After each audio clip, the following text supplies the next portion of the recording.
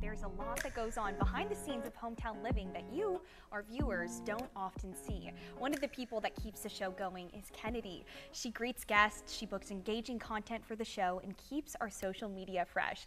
Kennedy is celebrating one year on the hometown living team. We are so happy to have you here, Kennedy, in front of the mm-hmm. camera today in a mm-hmm. little bit of a different role. So.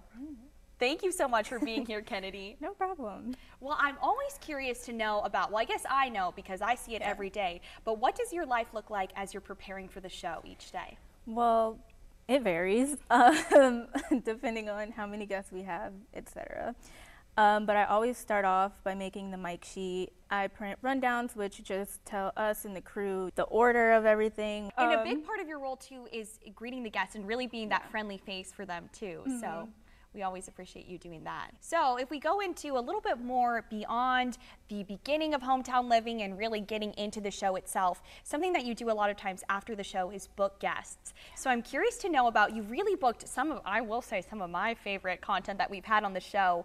Uh, what are some of your favorite pieces that you've had on here? So I'd have to say Dream Story Films was good because um, I think that is the only segment that looked almost exactly the way I wanted to. And you know, with live television, that is rare. Oh, we know. Um, next, I would say the Paris Show fashion show was one of my favorites for Mine sure. too. Um, yeah, like the the models were gorgeous, the designs were gorgeous. Mm-hmm. Paris Show was a joy to be around. I love her.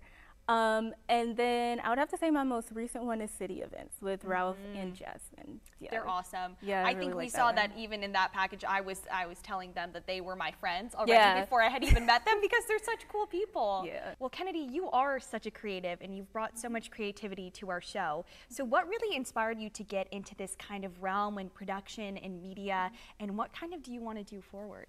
Yeah, so um, I graduated in um, at IU Bloomington and majored in narrative filmmaking, and um, basically I would like to become a film director. Um, that's what I graduated with in my mind. But I'm open to other production stuff, which is another reason why um, I thought this would be a good position. There's not a lot of film opportunities in South Bend, I would say. I think I kind of knew that the station would be what I would have to start off with as a resume builder. And when I was looking, it just so happened that Hometown Living was hiring, and that made me excited because, you know, lifestyle is fun and more creative Right. It fits you and your Yeah. goals and personality, for sure. So, um, yeah. and that's what brought you here. Yes, it is. Well, we are so lucky to have you here. Truly, it's really it's been so much fun to have you in the short time that I've been here mm-hmm. too. And I just want to put a shout out out there if anybody is hiring for a director, and you know, don't take Kennedy away from us too much, but we'd love to have her doing any sort of directing, production, anything out there because I know that you're going to make a big splash and be incredible. So Thank you. thank you, Kennedy, for being here, and we will see all of Kennedy's segments right here on the show after our next.